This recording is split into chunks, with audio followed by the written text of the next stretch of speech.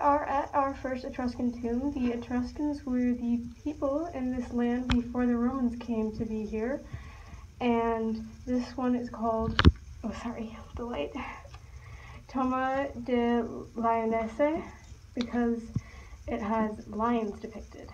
Back to you.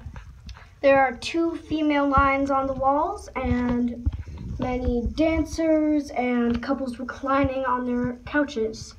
Now you see the spot for the body right there. And there are many beautiful dolphins drawn in here, which is rather interesting. Now, oftentimes when, say, your uh, great grandfather was buried in one of these tombs, when your grandpa died, he would also get buried there.